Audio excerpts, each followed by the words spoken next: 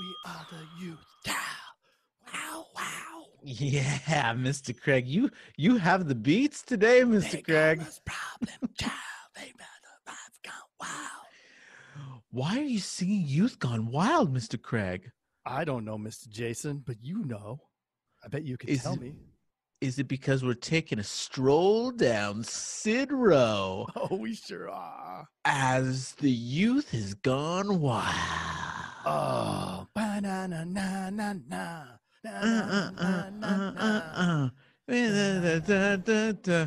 Insurance data marketing strat mastery. Ooh, pretty good. Let's do this, Mr. Jason. Buckle up. It's the Insurance Dudes Podcast. Hey Craig, um, this year I got some crazy growth goals for my agency, and actually I've been talking to a few other agents. They got some crazy growth goals. So, um, can you tell me a little bit wha- about what you're doing that's just crushing it in your agency right now? Yeah, well, we're doing a lot of internet data leads uh, through a uh, company called EverQuote, and they're actually one of our sponsors. Ooh, Yeah, we're can and you I'm tell me a of- little bit about that? Yeah, part of the Accelerated Growth Program, um, which includes having your own consultant that's going to go over your results, and it's it's positioned to make those leads cost less, so that you have lower acquisition costs. It makes it totally doable. awesome. And so, so what have been what has been your favorite parts about it so far? I like the I like the visibility into the results, um, and and being able to compare what the the numbers that they get on their side with the numbers that I get on my side, and seeing that they mesh up. So we know that the data is correct, and that we're actually uh, you know in in a cost per policy or cost per sale that uh, that makes sense. Right. Yeah, they make it real easy to track. And you know what? Guess what? They gave us a deal to offer to all of the insurance dudes and dudettes out there. Oh, I got to know about this. Yeah, you, all me. you need to do is go to go.everquote.com forward slash insurance dudes. That's go.everquote.com forward slash insurance dudes. And they give all the insurance dudes out there a killer price on this. So Mm, I'm signing up. Boom! Boom! Whoa! What? How you- How you doing? What's up? Don't tell me. Is this a is this a video podcast? Or you guys just it is. We record we so we put video on YouTube because some agents haven't been able to navigate to the podcast setting on their Okay. phone. All right. They're like, "How do I find your podcast?" Well, go to podcasts and type in the name. All right. All- well, Most of it is all audio. We have a, a small uh, group of people that watch it on YouTube. all right. small.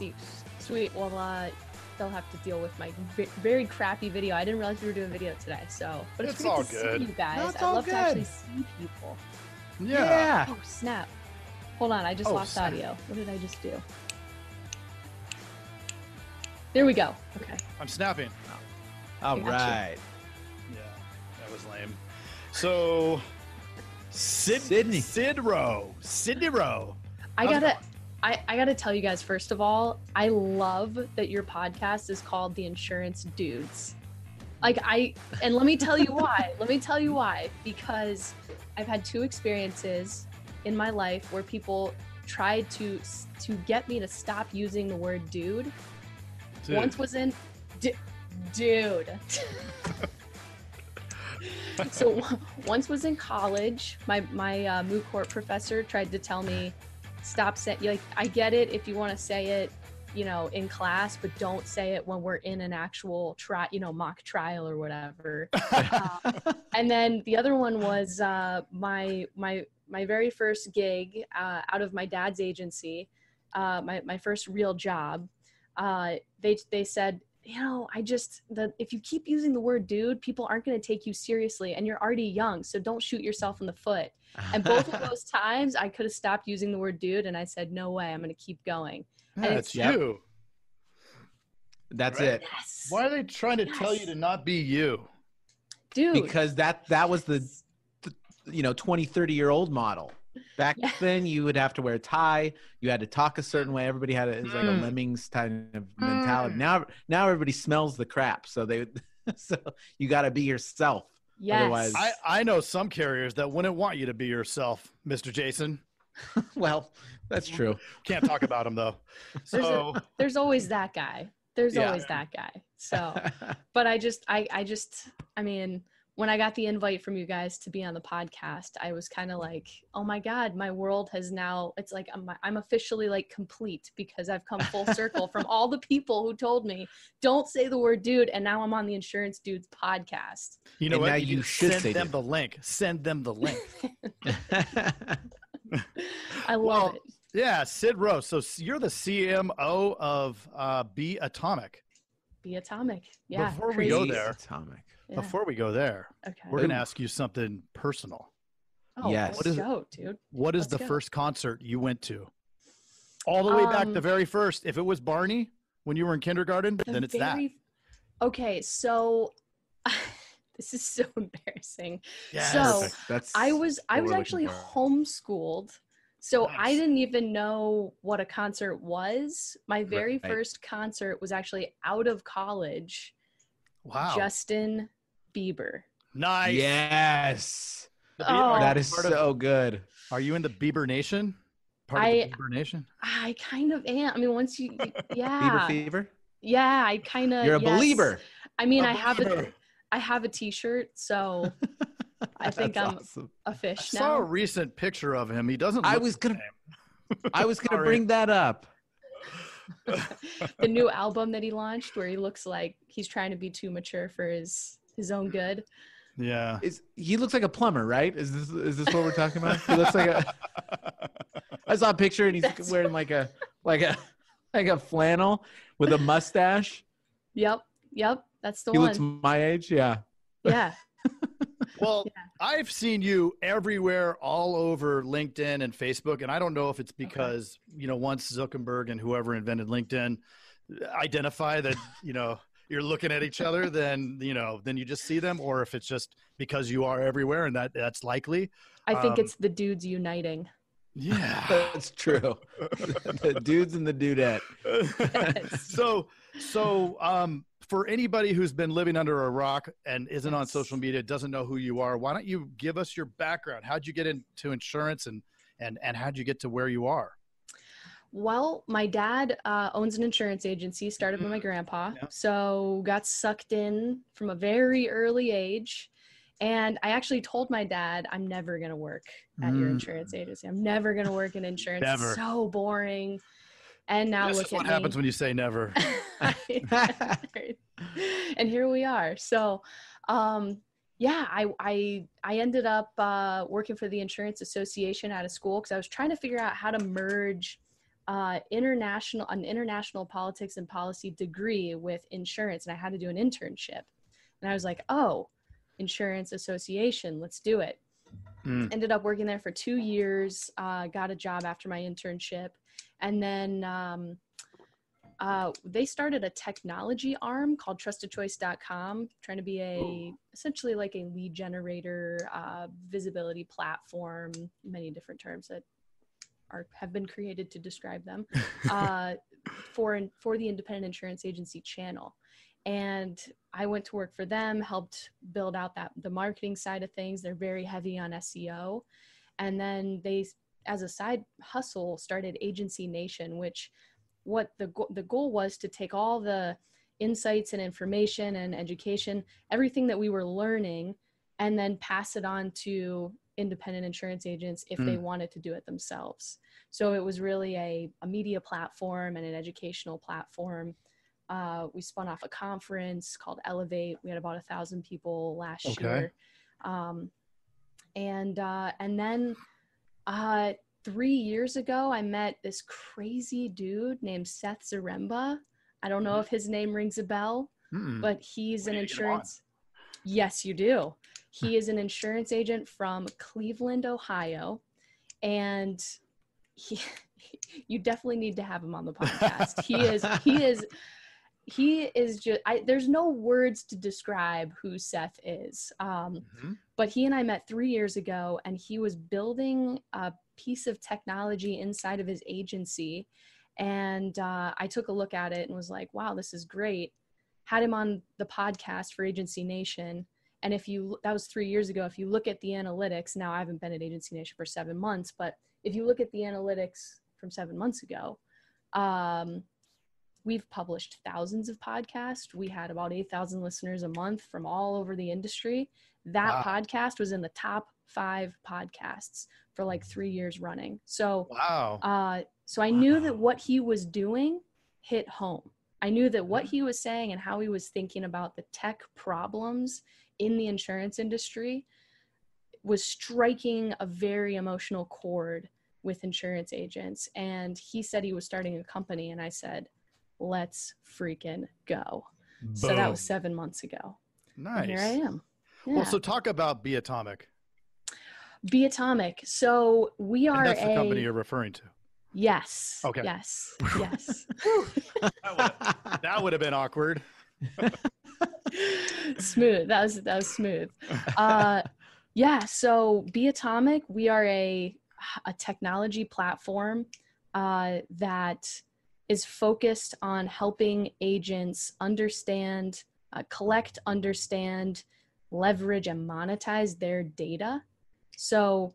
Um, Unfortunately, right now, these base systems that independent agents have in their agencies do an incredible job at managing policies right?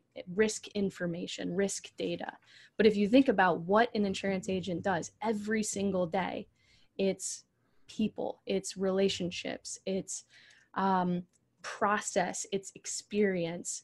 Mhm. And our systems don't have the flexibility or capability of truly helping an agent do that well and scale off of it.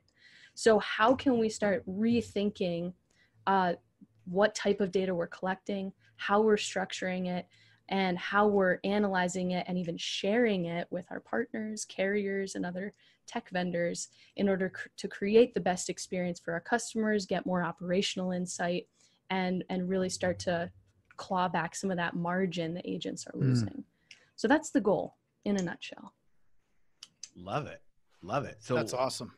Yeah. yeah. Yeah. Well, Talk That about was a- that kind of undertaking. Like yeah how how, how do i well um it's this was really seth's idea so he um he's a steel engineer and he entered the insurance world about 12 years ago and went through many of the you know same growing pains that startup agents and other agents go through trying to scale his business and uh, understand what's going on and as he grew his agency he realized that a competitive advantage for him could be technology.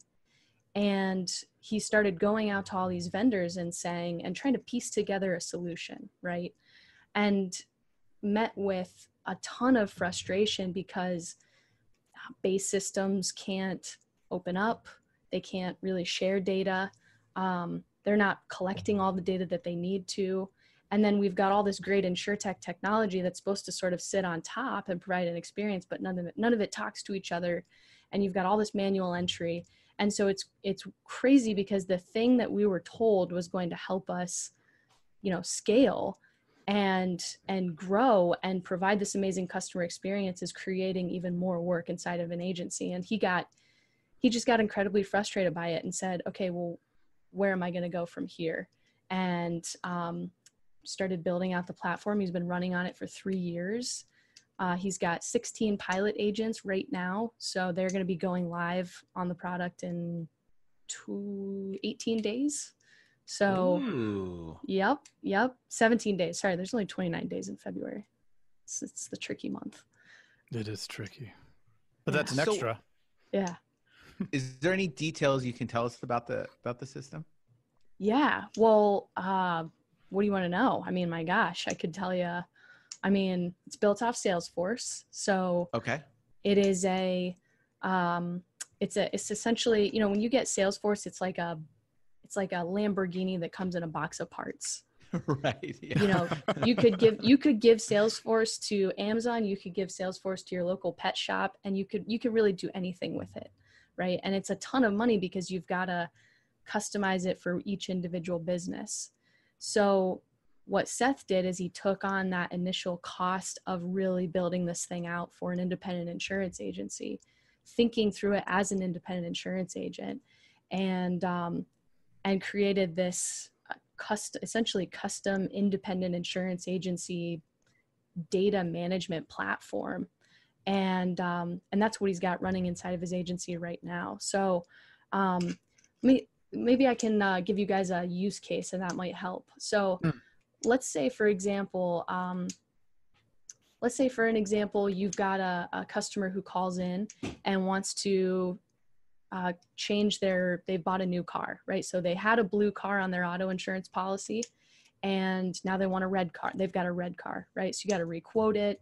Uh, you know a whole bunch of new information has to go into the system but there's a lot of different steps in that process. And right now all the system tracks is is there a policy in the system and what is the policy. But as a business owner you want to know a ton of different things like hey uh, when did the person call? And um, uh, let's say they call back where are we at in the process right? So uh, is it is it the customer's fault that things haven't moved forward because we're waiting on information for them for an app? Is there something uh, is there a roadblock within the agency because a team member hasn't gotten information to a carrier? Is there friction at the carrier level because they haven't quoted it fast enough how long are things taking right? So if a customer calls back in and says hey uh, what's going on with with this you know new policy? I gotta i want to drive my car. Um, you know you the, the team member can look at the the process the experience and figure out what's going on. Um, uh, Does it give you- analyze the, the lengths that that takes and all that stuff so that they can figure out like the analytics behind all that? Like let's say the the ad car and the you know whatever endorsements and all that stuff and then analyze it against every all the clients essentially. Yeah, yeah. So, for example, you can aggregate, you could say, okay, I need the system to show me how long it's taking my team to uh, requote auto policies. And you could Mm. visualize that data and figure out what's going on. Um, Seth was looking at his uh, some of his numbers from last year and realized that one of his team members was missing 57% of their phone calls. 57%. Wow. Holy Yeah. moly. So that's a conversation that has to be had. Yeah. Ooh, yeah, it Um, right. And so the fact though that you've got the data to be able to say what's going on and then you can work with the team member to to fix it and watch in real time as they they actually start to solve the problem and how does that affect the customer and how does that affect the rest of the team and how does that affect the carrier you can visualize and see all those things within the system because of the way we're collecting the data right and the data that we're collecting so it's yeah it's it's pretty fun stuff And and having that information, having that data, how does that what does that do? What does that how does that enable the 16 test agencies? Like what have they said? Right. So they are not on the platform yet. They will okay. be come the end of february. Gotcha. um What will they say? what will they yes. I wish i could the see the future. Yeah. Well here's here's the other piece of it right? Um because the systems that we have manage policies when when we're talking to each other about business operations right? How do you how do you go from being a an incredible sales machine as an agency Hmm. to a sustainable business? Those are two different things. And they revolve around this concept of process and culture and right, all the things that you you know you hear about leadership. So all of that is kind of left to tribal knowledge in a way right? Hey uh, my dad will tell me you know as i sit across the desk from him hey this is the way we've always done things you know or here's our book of processes. Here's a here's some paper that outlines all the processes that we have. And there's no real way to understand how a business how an insurance agency is working and what's working and what's not working and where are the friction points and what are customers feeling and how are how close is our partnership with our carriers. So what the, what we're trying to build is a way for agencies to not only see that with within their own business but what if you can start to aggregate all that data across the Mm. insurance agencies in the platform now it not only becomes a conversation internally but an industry conversation that's saying, hey, um, you know, Roe Insurance, you guys are doing a great job, but guess what? Um, uh, dude, I totally forgot your last Pretzinger. The Pretzinger Insurance Agency is um, is running two times faster on their claims. They're getting two, twice as many claims uh, or quotes through, right? Obviously, and they're yes. and they're, right. Obviously. So I I gotta know like what is Craig doing? How is he doing that? Right?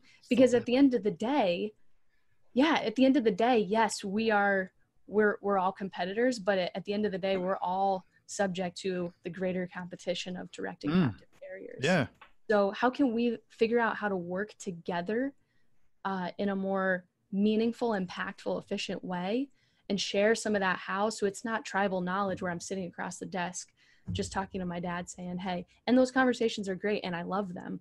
But there are things there are more there's more that we can learn from each other if we start to think about Well, data this way. If we all help each other collectively, we're all going to improve, and then the everybody wins. Yes. Right. The the world Yes. of oh, I have the keys to the kingdom over here, and I'm not going to tell anybody. I mean, those those folks are going to go off to the side. yes. Mm. Yes. Yes. So are you you're doing uh, primarily marketing yeah. for this so- project? Yep. So industry messaging, um, you know, how obviously this system doesn't exist yet. So how can I start to help people understand what we're doing? Most people come and they're like, "Hey, are you guys building an agency management system?" I'm like, no, we're not building an agency management system. Uh, we're actually partnering with an agency management system because we we are so not building an agency management system. Right. Um, Yeah, it already So- exists.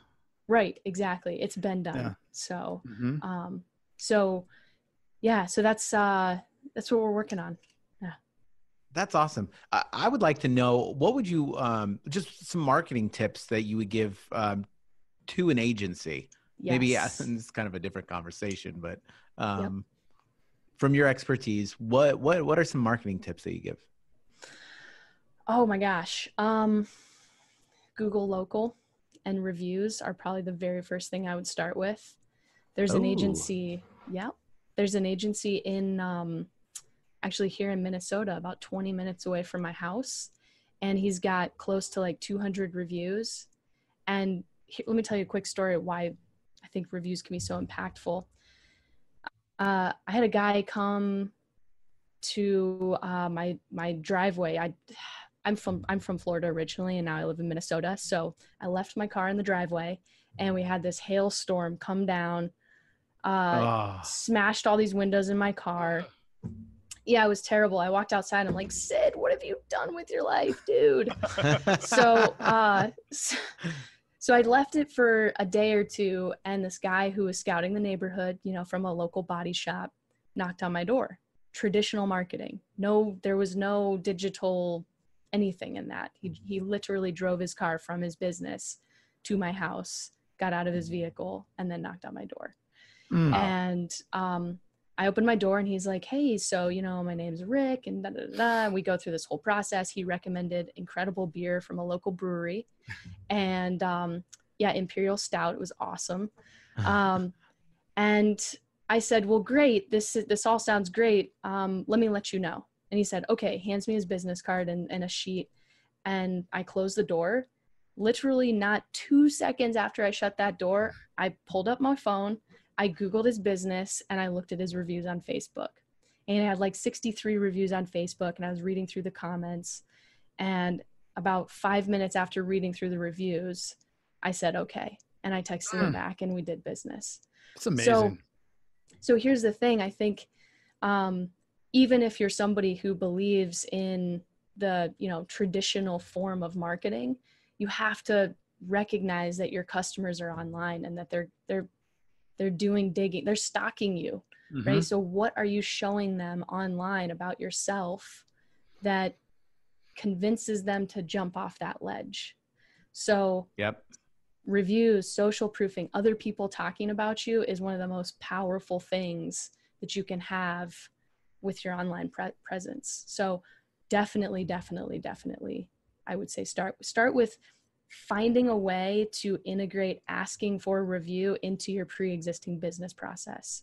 Um, i'll give you one really quick uh, strategy for that. So a guy that i know he uh, as soon as he as soon as one of his team members will close the deal and and and bind the actual policy so the deal's already it's officially done now. There's no there's almost no more conversation that needs to happen. It's been paid it's been signed on the phone with him says hey would you do me a favor and leave me a google review or facebook review and of Mhm. course the person is like yes of course they're on this emotional high because they've just spent money Mm. and then they get off the phone and they're drinking their wine and they're making their chicken marsala and they completely It's forget very specific. I like that. i like me some Of chicken course, they're marsala drinking their wine. yeah, you do. Marsala. so so they're so they're doing these and, and they forget about the google review right Mhm. that's that's Yeah. the thing right and, and you can ask somebody but they'll who knows how many you know maybe four out of ten will actually do it mm-hmm. Maybe so less. maybe one yeah you're totally right Yeah. so then he he has his team member uh, write out a note that says hey welcome it's part of his onboarding campaign welcome to the family uh, and you know here's a here's my phone number a couple different things. Oh hey by the way thank you so much for leaving us a google review. Here's a five dollar starbucks gift card. We just really appreciate it. Sends that off in the mail. And then what does that person think? Oh my gosh total guilt trip right? Oh my gosh i didn't leave a review. I got i better go do it really quick.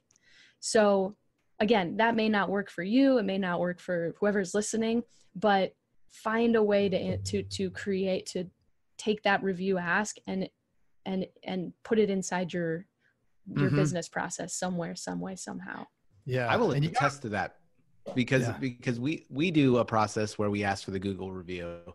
Um, we built ours up uh, pretty large, and now we use that because we do a lot of, you know, I guess it would be kind of telemarketing, but a lot of like data leads. So we're reaching out to these people. They want social proof, so we're like, go Mhm. just Google us right now. They Google us, Mhm. and immediately they trust us. first to Mm. come up with the Yes. most, right? hmm Yep. Mhm. So you, with but us. you got to build that social proof in order to do that. and it takes time most people think oh i'm gonna get you know i'll send out an email where i'll get 100 reviews in a day no it take you gotta this is gonna take a Yeah. year two years three years Yeah. for people it's to two just percent, right? right yeah It is a very Yeah. small percentage, but but again, eh, the easier you can make it in this world of in, of Mhm. instant distraction, where you know two seconds later they've got their wine and their chicken marsala, you have to have it be easy. Like we will, we we if you have the capability to um, send messages, you can send it in in message form, you know, email or whatever. And uh, yeah, I, I bought a car up in Phoenix, and I not to go down some tangent, but it, it's really pertinent to this. I bought this car up in Phoenix at this dealership. Um, it was an electric Fiat, this little tiny car, and it's literally this big. And um, after I bought it, the guy is sitting. He's like, "Here, let me show you how everything works." And I'm like, "Well, I- you know, I pretty much have know how this works." But he went in, showed me, and then he took his phone out and he goes, "Hey, by the way, would you give me a Google review?" And he handed me the phone with it already ready to just what do it. you know, and he goes, "All you have to do is log in." And then I'm like, "Okay," and I look, and as I'm typing, it says how many they have, and it's in the thousands. It's like five thousand Google reviews, and I'm like, "This is they just do it at every single time. They just hand That's their so- phone to them, right? Like, I mean, who's gonna say no when they hand you their phone?" Right? so Right. smart so smart. Did you smart go home and have chicken marsala and wine? Duh. of course I did. you guys are gonna eat chicken marsala and wine Actually, tonight, we- right? it actually almost sounds got good. we almost got a divorce because the range for that car is is 100 miles and phoenix is a hu- and is like 120 so it was And an the- interesting drive back. And, and, and it's not like a tesla you can charge very fast. I have a tesla too but that charges fast at a supercharger but this does not. So we had to stop and and then wait three hours. It was a whole Oh, that's not good. you yeah, seem was- like a tall dude. Like i'm surprised that you no, no? I'm not You're not tall, dude. Oh, well, your Medium. your video is very Five- deceiving. He likes to do that. He's got a short complex. normal. Uh, do i? Well you're sitting I am short, and I look short in here.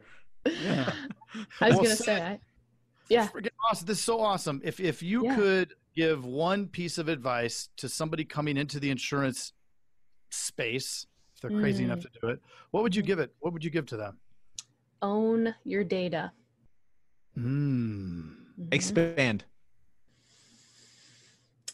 I would read your contracts with your technology vendors and with your carriers and figure out what the uh, what the data ownership structure looks like and start thinking about what if it's not in your favor what they might be doing with it Mm. Mm, and think about Food what you for could be doing with it if you own it right. so Yeah. it's very data is one of the most valuable and and increasingly so assets that we Yeah. possess as True. business Especially when you're- Especially when you're spending a lot of money to acquire that data.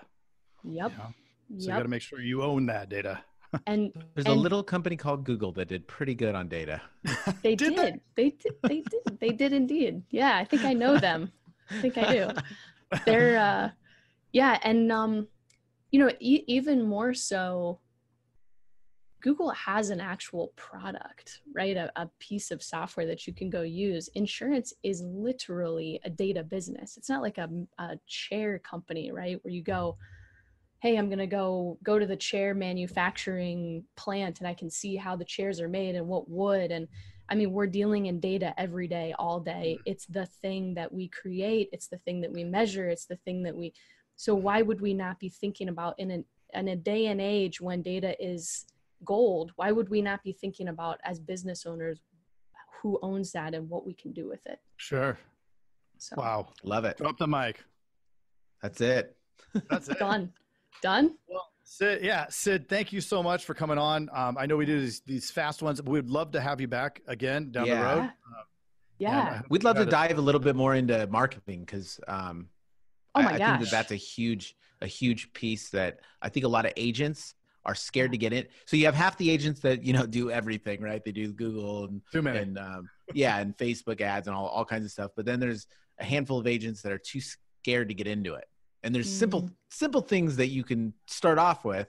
Yep. Um, and I, I bet you have some incredible insights to that, and we'd love to get you back. And Anytime. Seriously, I yeah, I'm happy to share anything. I've learned uh through some cuts and bruises some things. So happy to That's how you learn best. That's yeah. how you learn best. yes. Well, thank you, and uh, we will definitely uh, hit you up and on uh, your agree agreement to come back, and we'll see you Yes. down the road. yeah, sounds great. And by the way, thank you guys for having me on too. I really Oh, I sure. appreciate it. So um Absolutely. thank Yeah. you. yeah, Thanks, absolutely. Awesome to have the insights. Okay. All right. I'll talk to All you right. guys later. Okay, bye. sounds good, Syd. All right. Bye. Jason, I would be remiss if I didn't bring up one of our sponsors, EverQuote. Oh, tell me a little bit about them. Well, I've been using them for a couple months, and I'll tell you that the results are delightful. It's been now a couple months, and and over time, my cost per sale has dropped every single week.